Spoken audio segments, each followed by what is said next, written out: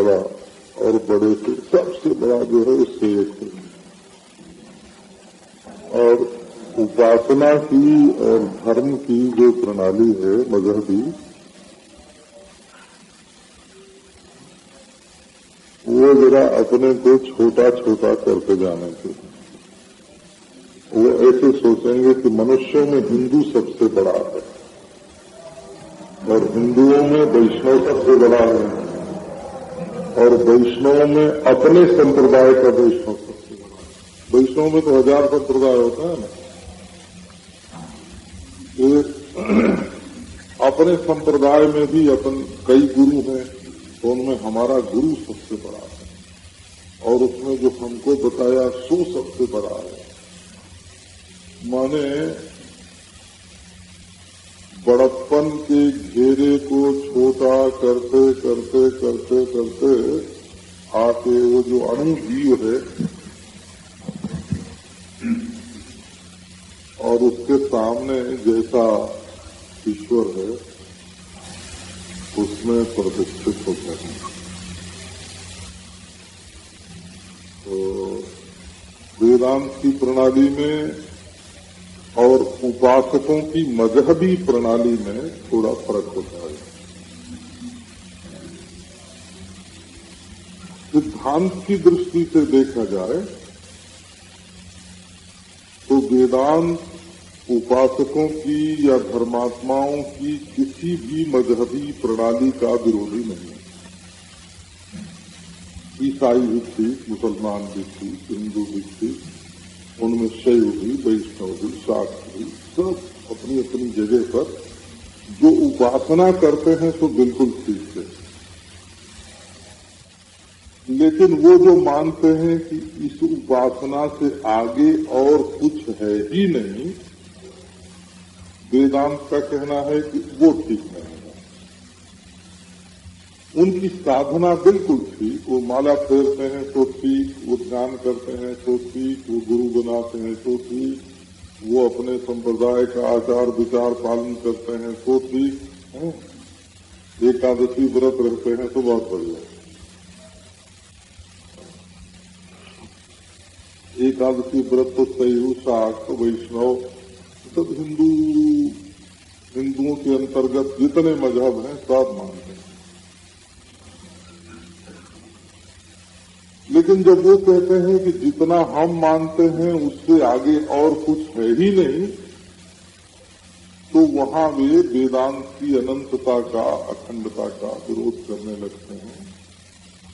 वेदांत तो एक सार्वदेशिक दृष्टि का परिणाम है एक सार्वकालिक दृष्टि का परिणाम है, एक सार्वभौम दृष्टि का परिणाम है। वो तो बिल्कुल अनंत से एक। है उसकी तुलना में कोई मज़हब नहीं है। न हिंदू, न ईसाई, न मुसलमान, न जैन, न बौद्ध। वो तो एक सत्य एक परमार्थ वस्तु, जिसमें मैं और तुम का कोई भेद नहीं, यह और वह का कोई भेद नहीं। जीव और ईश्वर तक का भेद जिसमें नहीं है, उसमें मजहबी भेदों के लिए तो कोई जगह कहाँ से होगी? हमारा जो मन है, उसमें लय और विक्षेप की प्रधानता है। ये जैसे बैठे बैठे सो जाता है ना तो ये लय की प्रधानता है। बैठे बैठे कहीं घूमने लगता है तो ये विक्षेप की प्रधानता है। तो ये लय और विक्षेप इन दोनों दोषों से जब तक मन को बचाओगे नहीं, तब तक ब्रह्म विषयक विचार, ईश्वर विषयक विचार विचार का उदय नहीं होगा। देखो, तुम्हारे घर में सालग्राम की मूर्ति है। या तुम्हारे घर में नर्मदेश्वर की है। ये दोनों एक तरीके हैं। हम लोग तो एक तो स्मार्ट संस्कार ज़्यादा है और दूसरे वेदांति संस्कार है। तो दोनों को मिला के अपने मन में ये बात हैं। अब आपको यदि आपका मन बारंबार लीन हो जाता है तो सालग्राम या नर्मदेश्वर का ध्यान नहीं, आपको नारायण का ध्यान करना चाहिए, कृष्ण का, राम का, जिसमें आँख, नाक, है ना, मुकुट, बाहु, हस्त, मुस्कान चितवन जिसमें है ऐसी चीज़ का ध्यान करना चाहिए यदि आपके मन में लय होता है बोला और यदि आपके मन में विक्षेप ज़्यादा होता है, लय नहीं होता है तो आपको सालग्राम और नर्मदेश्वर का ध्यान करना चाहिए। देखिए, ये भी धर्मशास्त्र की बात आपको सुना दी। अब धर्मशास्त्र वाली कोठरी खुल गई है तो वो जल्दी बंद नहीं होती है। तो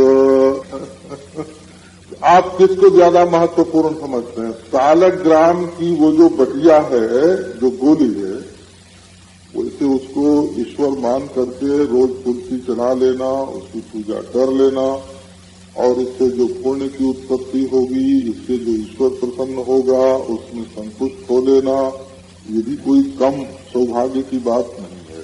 ऐसा भी बहुत कम लोगों को होता है। लेकिन जिसको इस पूजा में या सालग्राम घर में है, इतने से हमारा कल्याण हो गया, ये संतोष न हो, उसको विचार की भी आवश्यकता पड़ती है। लय का प्रतीक है सालग्राम और नर्मदेश्वर। ये दोनों बीज रूप में हो।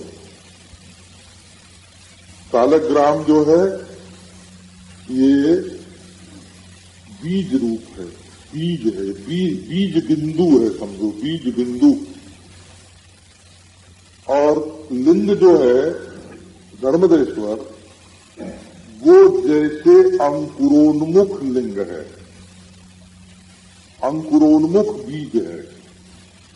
वो गोलपना जो है, गोलपना जो है, ये तो बीज की स्वरूप स्थिति है।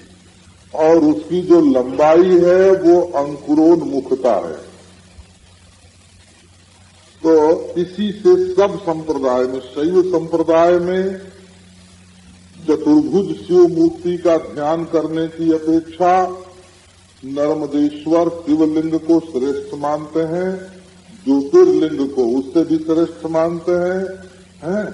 क्योंकि वहाँ आकार जो है वो नहीं है आ, आकार रहित लिंग का ध्यान करना है। और संपूर्ण वैष्णव संप्रदाय में चतुर्भुज नारायण के ध्यान की अपेक्षा सालग्राम का महात्म्य अधिक मानते हैं।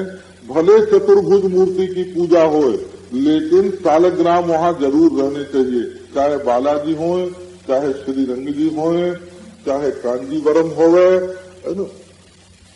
चतुर्भुज मूर्ति के साथ साथ भी सालग्राम का होना अत्यंत आवश्यक है। सालग्राम का महत्व बहुत अधिक मानते हैं। तो देखो, ये बात स्पष्ट है कि यहाँ साकार और निराकार। हस्त पादादि वाली मूर्ति और हस्त पादादि रहित मूर्ति। तो यदि मन में लय ज़्यादा हो तो हस्त पादादि युक्त मूर्ति का ध्यान करना चाहिए। और यदि लय न हो, विक्षेप ज़्यादा हो तो हस्त पादादि हस्त पादादि रहित जो सालग्राम आदि की मूर्ति है उसका ध्यान करना चाहिए। अब ये वेदांती लोग दो प्रक्रिया मानते हैं। हमारे तो सब एक ही है। जैसे आपको मैं जो धर्मशास्त्र की बात सुना रहा हूँ, ये वेदांत से बिल्कुल समन्वित है। शांति लोग दो स्थिति मानते हैं। एक तो पहले ही तुम्हें ये बोध हो जाए कि मैं ब्रह्म हूँ, पहली चोट हूँ ये बात आपको कई दिन सुना चुका हूँ कि आप यदि ये जानते हैं कि मैं अविनाशी हूँ तो आपको ब्रह्म ज्ञान नहीं हुआ।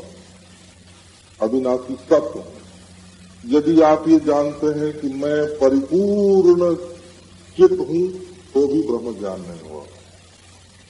यदि आप जानते हैं कि मैं परमानंद स्वरूप हूँ तो भी ब्रह्म ज्ञान नहीं हुआ। यदि आप ये जानते हैं कि मैं मुक्त हूँ तो भी ब्रह्म ज्ञान नहीं हुआ। ये सत एक आनंद मुक्त। यदि आप जानते हैं मैं शुद्ध हूँ अजंग हूँ तो, तो भी ब्रह्म ज्ञान नहीं हुआ। ब्रह्म ज्ञान होने के लिए देश काल वस्तु से अपरिच्छिन्न और सजातीय विजातीय स्वगत भेद से रहित आत्म चैतन्य ही अद्वितीय ब्रह्म है, इत्याकारक वृत्ति उदय होकर के भ्रांति की निवृत्ति हो जानी चाहिए। अविद्या की निवृत्ति हुए बिना, अविद्या की निवृत्ति हुए बिना वेदांत को वेदांत नहीं मानते हैं।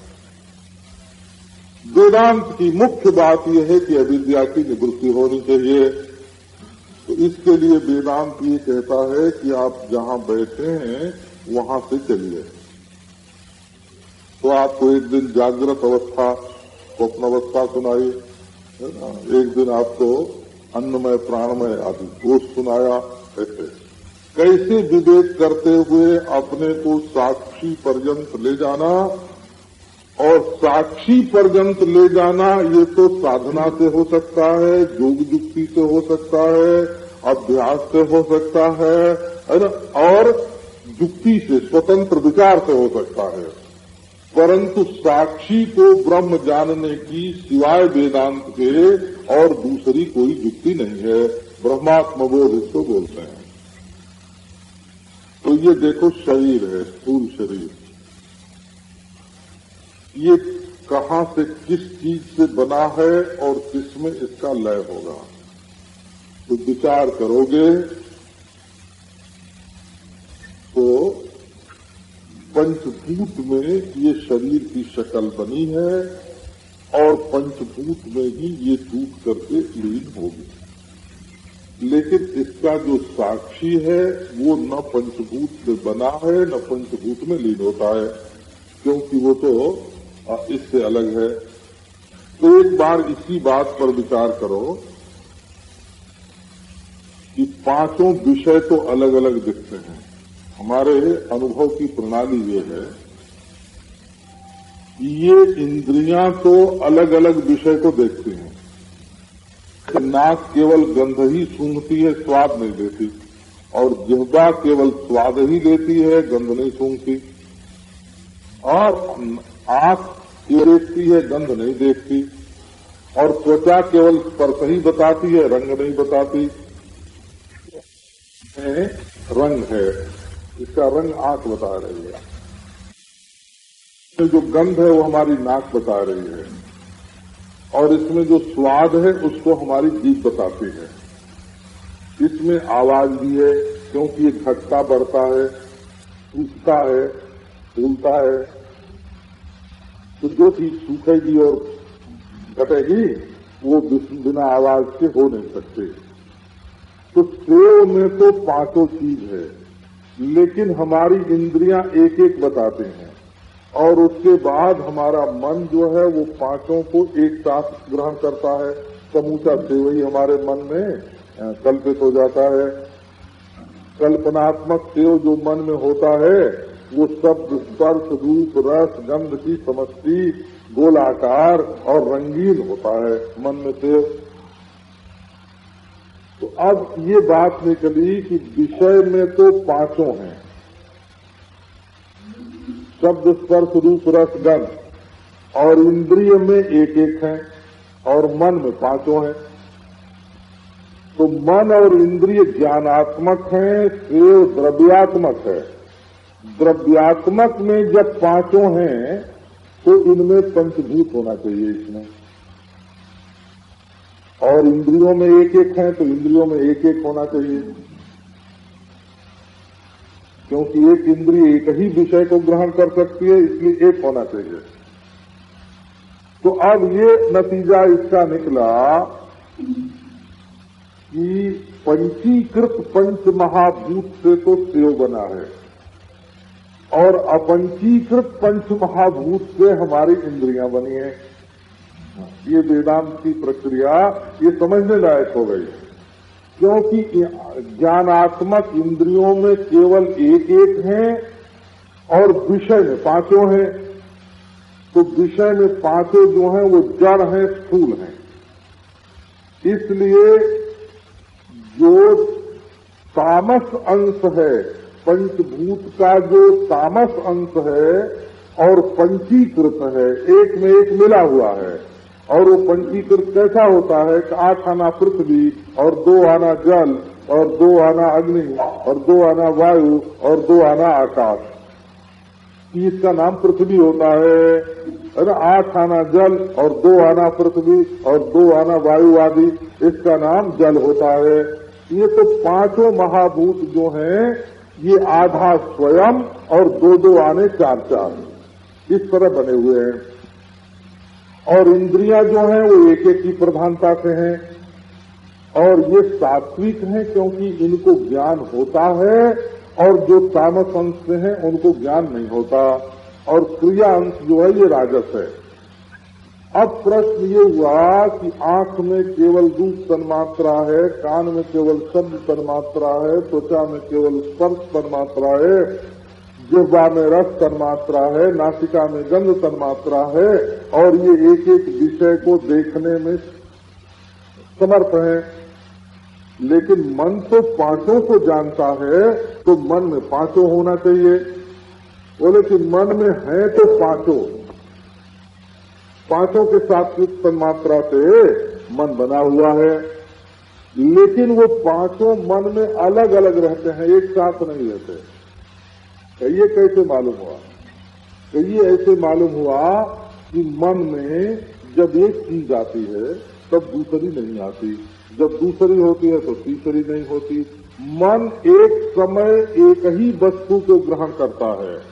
चाहे तो वो नेत्र द्वारा रूप को ग्रहण करे और चाहे नेत्र के बिना रूप की कल्पना करे। परंतु मन में एक ही चीज़ रहेगी, सब की सब एक साथ नहीं रहेगी। तो चाहे वो नासिका के द्वारा गंध को ग्रहण करे अथवा बिना नासिका के गंध की कल्पना करे, परंतु जो कल्पना या जो ज्ञान मन में होगा, वो एक साथ एक ही रहेगा, दो ज्ञान नहीं रहेंगे। इसका अभिप्राय ये हुआ कि मन भी अपंचीकृत, पंचभूत की सात्विक तन्मात्रा से बना हुआ है, और ये शरीर और ये घड़ी, और ये सेव, और ये स्थूल संसार पंचीकृत पंचभूत से बना हुआ है। ये तामस है, क्रिया राजस है, और नारायण, ये ज्ञान इंद्रिया।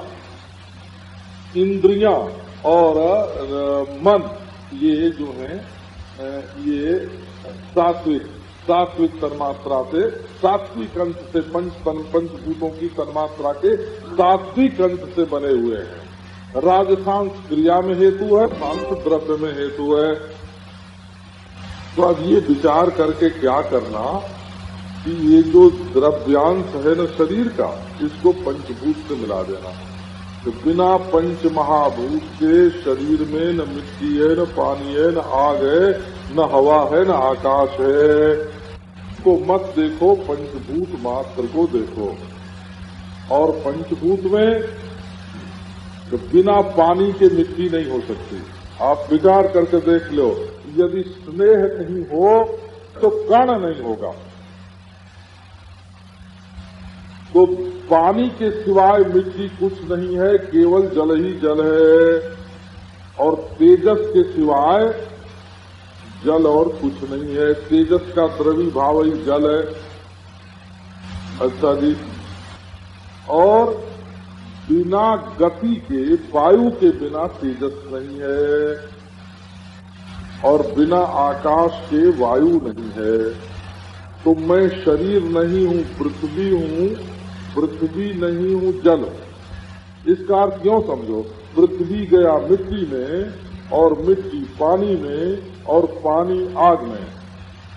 हमको एक महात्मा ने बताया था कि केवल ये धारणा की जाए कि जल ही जल है तो पृथ्वी नहीं नगर नहीं वृक्ष नहीं लता नहीं पहाड़ नहीं आहा बस आनंद ही आनंद और लहरा रहा है जल अपने आप में जल ही जल लहरा रहा है न पृथ्वी है न पर्वत है न वृक्ष है न वन है न मकान है न मनुष्य है न पशु है न पक्षी है न स्त्री है न पुरुष है जल ही जल है। जल लय हो जाता है अग्नि में और अग्नि जल हो जा, लय हो जाता है वायु में और वायु आकाश में। अब इसको फिर तीन गति करके तामस अहंकार में और फिर राजस अहंकार में और फिर सात्विक अहंकार में। देवता, अंतकरण, मन, इंद्रिय, द्रव्य, पंचभूत सबको अहंकार में लीन कर लिया। ये अहंकार वैसी स्थिति है, जैसी नींद से जब जागते हैं, नींद से। तो ये तो पता चलता नहीं कि मैं कौन हूँ। पहली स्थिति ये होती है नींद से उठने के बाद कि होश तो आ जाता है, परंतु मैं कौन हूँ ये मालूम नहीं पड़ता। और बाद में मैं कौन हूँ, कहाँ हूँ ये मालूम पड़ता है। दुबई में कभी नींद टूट जाती है और मालूम पड़ता है कि हम वृंदावन में हैं। हम मोटर का भोंपू सुनाई पड़ा हो। हाँ तो कल ही अभी कल ही मैंने दादा से कहा कि दादा फाटक खुलवा दो, कोई मोटर खड़ी है फाटक पर। तो अरे नारायण। देखो, कोई भोंपू हो जा रहा। तो फिर ख्याल आया कि ये तो बम्बई है, ये तो वृंदावन नहीं है। यहाँ फाटक खुलवाने का कोई सवाल ही नहीं है। तो कहने का अभिप्राय क्या है? कहने का अभिप्राय ये है कि ये जो अहंकार है, ये पंच महाभूत कर्मेंद्रिय ज्ञानेन्द्रिय और मन और देवता, इन सबके लय का स्थान है अहंकार। और जब अहम अहम का विभाग नहीं रहेगा और द्रव्यों का भी विभाग नहीं रहेगा। देवता, मन, इंद्रिय, द्रव्य, ये सब विभाग नहीं रहा। तो वो अहम जो होता है ना अहंकार, वो अहंकार व्यक्ति नहीं होता, समष्टि होता है। क्योंकि पहले से ही शरीर का जो व्यक्तित्व है, वो पंचभूत में मिलाया हुआ है। अब वो अहंकार कहाँ है? कि केवल बुद्धि में है। और बुद्धि कहाँ है? वो अज्ञान में है। सुसुप्ति में बुद्धि का लय हो जाता है। जिसका जिसमें लय होता है, वो चीज़ उससे जुदा नहीं होती है। तो ठीक प्रकृति से, अव्यक्त से, अव्याकृत से, प्रधान से, अथवा अज्ञान से, बुद्धि का उदय होता है, बुद्धि में अहंकार का उदय होता है, अहंकार से फिर सारे विभाग जो हैं, वो मालूम पड़ते हैं। इसलिए सबके मूल में अज्ञान है। और उस अज्ञान का मैं साक्षी उस अज्ञान को जानने वाला, देखने वाला मैं हूँ।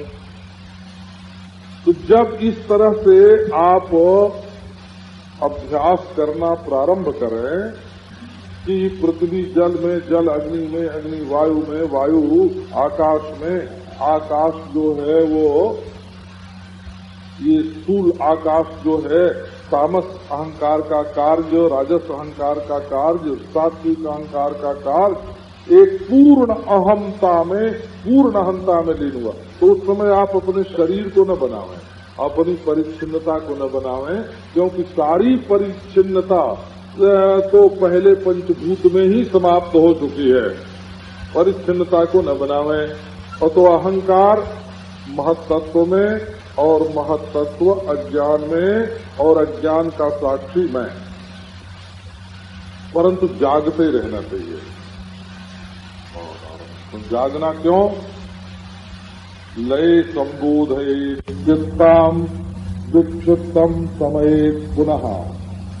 सकषायम विजानीयात समप्राप्तम न चाले तो अब यदि लय हो जाए तो चित्त को जगाना, लय को परमार्थ नहीं समझना।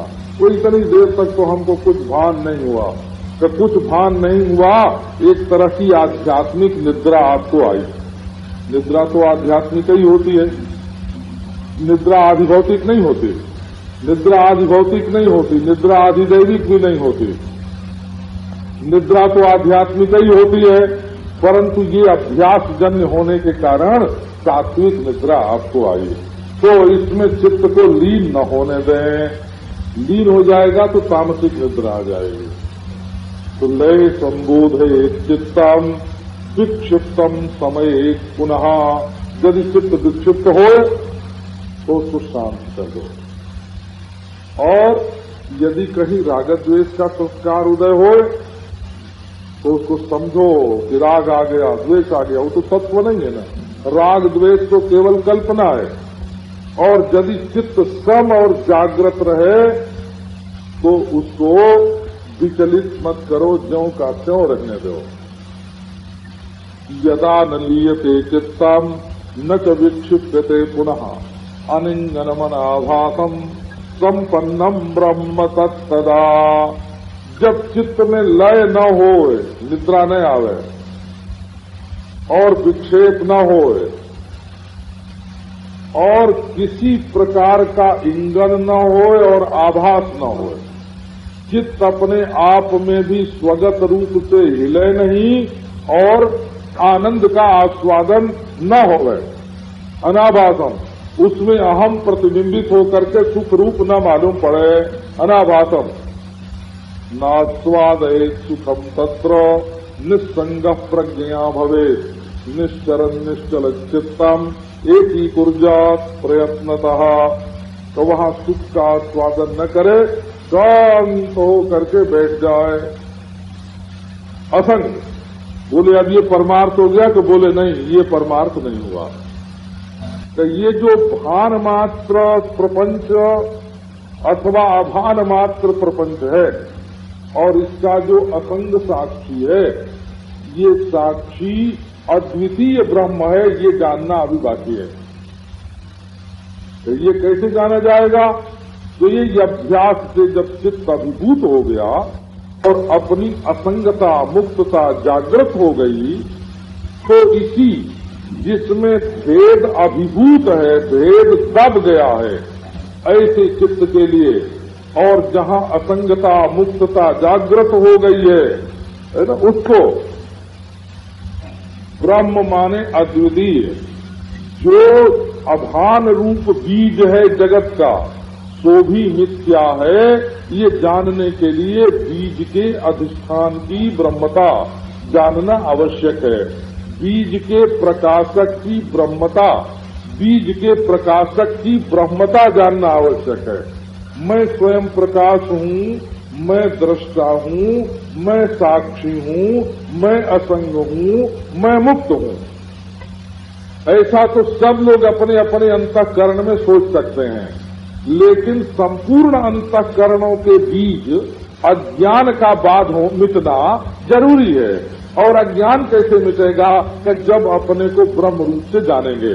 तो ब्रह्म रूप से कैसे जानेंगे? तो वहाँ किसी, है ना किसी की करामात काम नहीं दे सकती, क्योंकि अहम ब्रह्मास्मि ये संस्कार जन्य ज्ञान नहीं है। इसलिए वाक्य प्रमाण से उत्पन्न ये महावाक्य जन्य जो अहम ब्रह्मास्मि इत्याकारक वृत्ति है, वो परिच्छिन्नता का विध्वंस कर देती है और मनुष्य को अपने स्वरूप का ज्ञान हो जाता है। तो विषय का परित्याग, विषय का लय करो, इंद्रियों का लय करो मन का लय करो वो अहंकार का लय करो, बुद्धि का लय करो, और अज्ञान को मिटा दो, और केवल एक ही रहो। केवल एक ही रहो। वो एक जिसने सबको खा लिया, जिसमें खाना पीना है ही नहीं। तो उस एकाद में शयन करना। अहम अन्नम अहम अन्नम अहम अन्नादो अहम अन्नाद मैं ही अन्न हूँ और मैं ही अन्नाद हूँ। मेरे सिवाय दूसरी कोई वस्तु नहीं है। वेदांती लोग इसको भी दो नंबर की स्थिति मानते हैं। जो मैंने अभी आपको सुनाया, इसको अपरमार्थदर्शी अपरमार्थदर्शी के लिए शंकराचार्य भगवान ने मांडू की कारिका की व्याख्या में इसको बताया कि ये अपदर्शी की स्थिति है। कौन सी? चित्त का लीन न होना, चित्त का विक्षेप न होना, चित्त में राग द्वेष का न होना, चित्त में समता होना, चित्त का निश्चल होना, चित्त का चित्त का अनाभास होना, रसास्वाद भी न हो, ऐसी स्थिति चित्त की होना, ये क्या है? बोले अपरमार्थदर्शी ज्ञानी के लिए आवश्यक है। परमार्थदर्शी ज्ञानी के लिए इसकी भी आवश्यकता नहीं है। तो तब उसके लिए क्या? बोले, भाई, चित्त शुद्ध हो अधिकारी हो और सदगुरु मारे तीर, निकट जा पार एक एक चोट में ये बोध हुआ कि मैं तो सजातीय, विजातीय, स्वगत भेद से रहित देश काल वस्तु से अपरिच्छिन्न ब्रह्म मैं ही हूँ। तब बाद में तो बाद में देखो परामर्श होगा। क्या? कि जब मैं ब्रह्म ही हूँ मैं ब्रह्म हूँ ये निश्चित है कि मैं अद्वितीय ब्रह्म हूँ तो मुझमें माया कहा? तो बिल्कुल नहीं है, है? तब मुझमें बुद्धि कहा? तो बुद्धि भी नहीं है। जब तब बुद्धि में भ्रांति कहा? जब मुझमें माया और अविद्या नाम की वस्तु नहीं है तब मुझमें बुद्धि और भ्रांति है ना? वो बुद्धि जो है वो माया का कार्य है हो और भ्रांति अविद्या का कार्य है। माया के दो विभाग हैं। वो त्वम पदार्थ के आश्रित होकर के अविद्या हो जाती है और तत्पदार्थ के आश्रित रह करके माया होती है। और माया की बेटी होती है बुद्धि। बुद्धि माया की बेटी है। और अविद्या की बेटी होती है भ्रांति। तो न मुझमें माया है, न अविद्या, और न मुझमें बुद्धि है, न भ्रांति। तब अहम कहाँ से आया? तो अहम नहीं आया तो सात्विक अहम और राजस अहम और तामस अहम भेद कहाँ से होगा? और फिर इनके कार्य कहाँ से होंगे? कि तब बोले, ये सब काहे के लिए वर्णन है शास्त्र में? कि ये तो अध्यारोपापवादाभ्याम निष्प्रपंचम प्रपंचयते। अध्यारोप और अपवाद के द्वारा यहाँ निष्प्रपंच का निष्प्रपंच का प्रपंचन किया गया है। केवल जो अन्य है मुझसे अन्य कोई वस्तु है? ये जो धारणा बुद्धि बिना सोचे, बिना विचारे, बिना अपने आप को जाने, ये अध्यारोप भी नहीं है। और नेति नेति के द्वारा जो अपवाद किया जाता है, वो नेति नेति के द्वारा किया हुआ अपवाद भी नहीं है। अपवाद भी नहीं, अपवाद का भी अपवाद है, और अध्यारोप का भी अपवाद है। अध्यारोप और अपवाद दोनों बाधित हैं अपने स्वरूप के ज्ञान में। अपने स्वरूप के ज्ञान में तो वेदांत की जो प्रक्रिया है, वो अत्यंत विलक्षण और अत्यंत निर्मल प्रक्रिया है। इसमें न द्वैत का रस है, न द्वैत की गंध है, न द्वैत की आकृति है, न द्वैत का स्पर्श है और न द्वैत सूचक शब्द है, न द्वैत की कल्पना है। न इसमें न इसमें द्वैतात्मक व्यक्त है, न द्वैतात्मक व्याकृत है, न द्वैतात्मक ज्ञान है। ये जो वस्तु स्थिति है, ये जो वस्तु स्वरूप है, ये इसी के शोधन के लिए और इसी के बोधन के लिए, इसी के बोधन के लिए ये वेदांत शास्त्र जो है, वो प्रवृत्त होता है। मुख्य प्रश्न ये है कि यदि आप गोबर की गौरी अपने घर में बना के, और सुपारी का गणेश बना करके, और उसकी पूजा करके, है ना? या पाटे पर नवग्रह की स्थापना करके और उसकी पूजा करके, या या पीपल के पेड़ में भूत भैरव की पूजा करके। वही यदि आप अपने को संतुष्ट मान लेते हैं कि बस बस हमको तो परमार्थ की प्राप्ति हो गई। तब तो कुछ कहना ही नहीं क्योंकि जहाँ जिज्ञासा का ही उदय नहीं हुआ उसके लिए परमार्थ के निरूपण की कोई आवश्यकता ही नहीं है लेकिन यदि आप अपनी कल्पना में संतुष्ट नहीं हैं, अपनी भावना में संतुष्ट नहीं हैं, यदि आप अपनी कल्पना में भ्रांति का अविद्या का अंश देखते हैं और आपको मालूम पड़ता है कि हम उसको नहीं समझते हैं, हैं? तो नासमझी को दूर करने का प्रयास करना चाहिए।